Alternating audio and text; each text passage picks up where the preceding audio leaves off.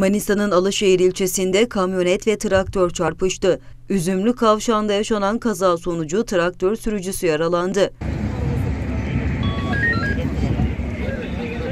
Çarpışmanın etkisiyle yan yatan traktörün devrilmesini ise arkasındaki tarım aleti engellerken sürücünün de ölümden dönmesini sağladı.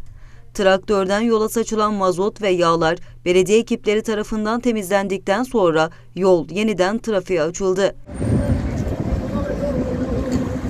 Kazada baş kısmından hafif şekilde yaralanan traktör sürücüsü ise Alaşehir Devlet Hastanesi'nde ayakta tedavi edildi.